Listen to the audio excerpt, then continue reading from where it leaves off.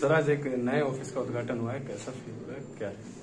सबसे पहले दरगाह कमेटी का मैं आभार व्यक्त करता हूँ कि उन्होंने जो पिछले एसपी साहब थे राष्ट्रदीप जी, उनके रिक्वेस्ट पे तुरंत इस काम को किया और यहाँ एक प्रेमिसेस पुलिस अफसर्स के लिए इसमें अटैच वॉशरूम भी है साथ में, वो बनाया है।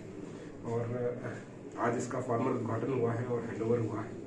और जैसा कि यहाँ व्यवस्था रहती है उस व्यवस्था को इन्फोर्स करने में और चिंतन करने में ये एक बहुत बड़ा रोल प्ले करेगा। क्योंकि यदि कोई ऑफ़िस सिक्योर बैठा है और आदमी वहाँ पे एक सेफ़ जगह पे है तो अपने काम को और बेटर अंजाम कर सकता है।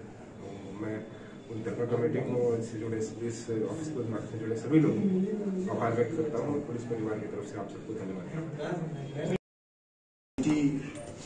का जो ये फैसला रहा कि डिप्टी एसपी साहब के लिए एक नया ऑफ़िस बनाकर दिया जाए।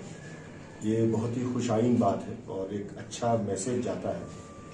और ये दिखाता है कि हमारे रिश्ते कितने मज़बूत और खुशगवार हैं। और हम पुलिसिंग की अहमियत को समझते हैं।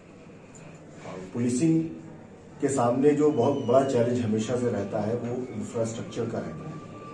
क्योंकि मेरा अपना भी बैकग्राउंड पुलिसिंग का है और हम जानते हैं कि सहूलत देने की बात आती है तो सबसे आखिर में पुलिस को याद किया जाता है। और काम के बारे में देखा जाए तो सबसे ज़्यादा काम का बोझ होता है। तो इस ज़िम्मेदारी को बखूबी निभा रही है यहाँ का जो डीएसपी ऑफ़िस है। और इसलिए बहुत खुशी की बात है कि उनको एक अच्छी सहूलत जो वो डिजर्व करते हैं वो दी जा रही है। क्योंकि जायरीन पूरे हिंदुस्तान से अगर आते हैं तो अजमेर शहर की इज़्ज़त की भी बात होती है।